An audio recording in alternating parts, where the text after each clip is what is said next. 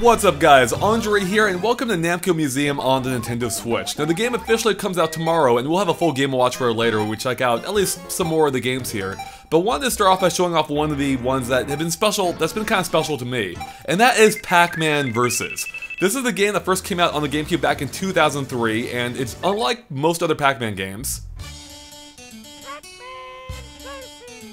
Sorry, I had to shut up there while Mario did his thing. Yes, I don't know why Mario is the announcer in this game, but he is, just deal with it. so this game was made as a special collaboration between, Nintendo, which you can see there on the copyright screen, as well as Namco, and it uh, came with for free uh, uh as part of Pac-Man World 2 on the GameCube. Um, this game is rather unique in that, or for multiple reasons. One, it's a multiplayer Pac-Man game, or three people play as a ghost on the TV, and the fourth player is actually Pac-Man and plays on the Game Boy Advance, or back in the original version played on the Game Boy Advance. So the Game Boy Advance player, like you can see here, can see the full map of the screen, including where all the ghosts are, whereas the ghosts who are playing on the TV could only see a small portion of the map, and they had to work together to try to find Pac-Man and you try to corner him and, you know, get him and win. So that was really cool. The catch was that you needed the GameCube, you needed the Game Boy Advance, you needed the Game Boy Advance or GameCube link cable, and of course you needed Pac-Man Versus as well. So that's not something that many people had, because that was a lot to take in, just for one game. Even though if you had it, it was a lot of fun. Um, since then, the game hasn't really been re-released, except once before on Namco Museum back in 2007 on the Nintendo DS, uh, and finally, once again, in Namco Museum for the Nintendo Switch, which is the first time it's been playable again on a console. So I thought we'd do a quick check of it and see how it holds up. Um, now, unfortunately, uh, while you do need two switches for the full experience, uh, I only have one person here, so we're gonna have to fake it a little bit for the multiplayer portion. However, you actually can play the game single player now, um, and yeah, so I thought we'd check that portion out at least. In fact, you can play multiplayer as well, but the catch is that in the single console version of the game, you can only play as Ghost. You cannot play as Pac-Man, which is a bit of a bummer. Um, it's too bad they didn't figure out a way around that or do like a full split screen thing, but whatever. So we're gonna choose one player here. We're gonna aim for 7,000 points. And let's start off with, uh, we'll do the original Pac-Man map. It's a classic. So yeah, so we are working together to take down Pac-Man. Of course, the other ghosts are CPUs, so we won't be working together too much, at least verbally, but...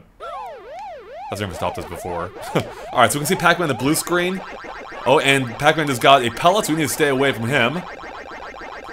We can also see a map at the bottom right that shows the full map, just minus the intricacies, and I got eaten by Pac-Man. Awesome. Where were you on that one, ghost teammates? Why weren't you helping me out there? Alright, but we can go for Pac-Man again. Oh, and he's got a pellet, so we're gonna try and avoid him. So yeah, right now, this is just like the original game, except in higher def now. Um, yeah, has always had a good look to it a good vibrant look to it.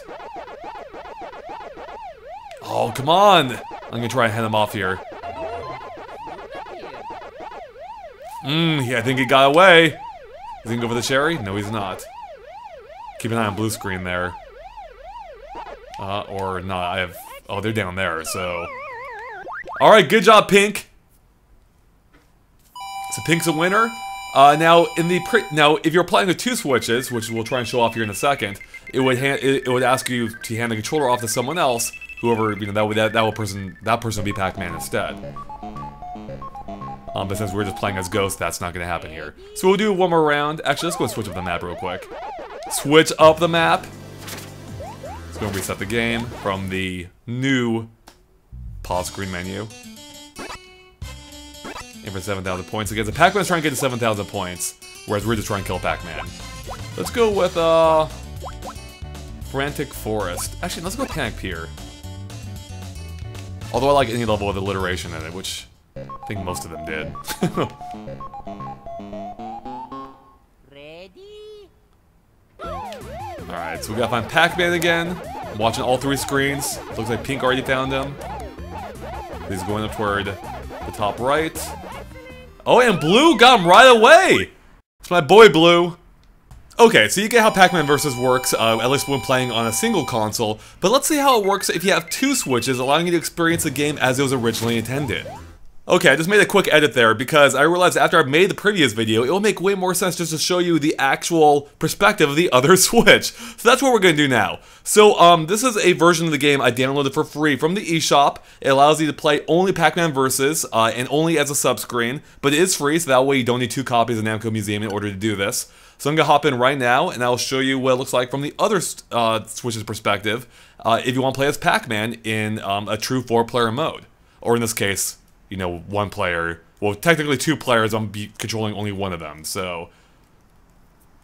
Whereas other ghosts would be filled in by CPUs.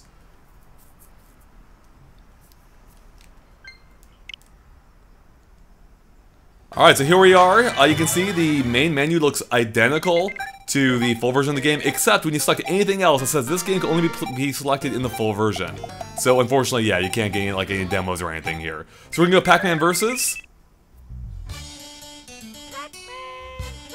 I had to listen for Mario again. And it says this software can only be used with Namco Museum and cannot be played separately. So yeah, there's nothing you can do in the free version of the game besides play it with the full version as well.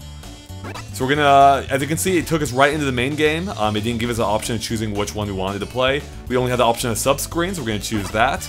Now it's waiting for connection, so back on the other Switch, I'm going to go uh, go back to the main menu here. Give me a sec. Choose original. I'm gonna choose start game, and then now we're waiting for a connection. And then it's asking me want to join Andre here on the main TV, so we're gonna do that. And away we go. So, okay, on the main screen, you saw this before. I'm just choosing two players. I'm gonna aim for 7,000 points as Pac-Man. And, or that's what Pac-Man is aiming for. And then let's go with, um, for the level, let's go with Manic Manor.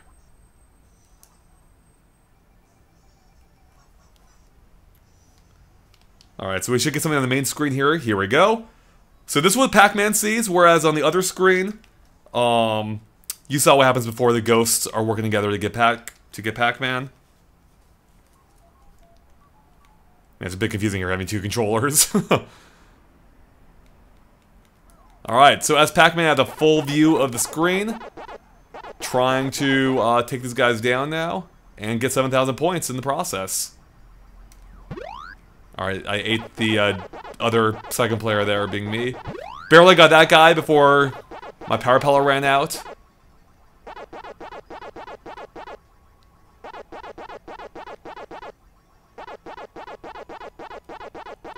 And I think in order for the other ghosts to be active, I think the second player, the CPU ones, I think the second player needs to pass through them.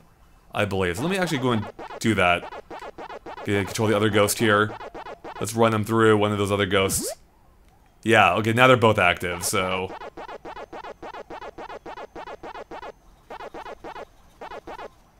So yeah, this is obviously playing with only two CPUs and no human players is a lot easier than it would be normally, but I'm just showing showing you so you guys get the idea of it.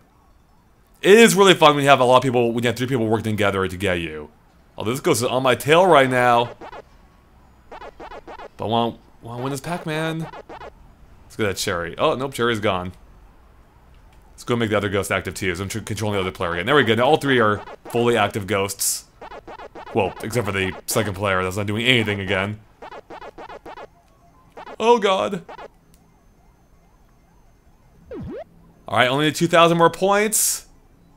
Which is probably every pellet here, I'm guessing. Uh, let's get that ghost out of there, otherwise I'll never get those pellets. Oh, I might be screwed here. Yep, they got me! And that, I think that's it.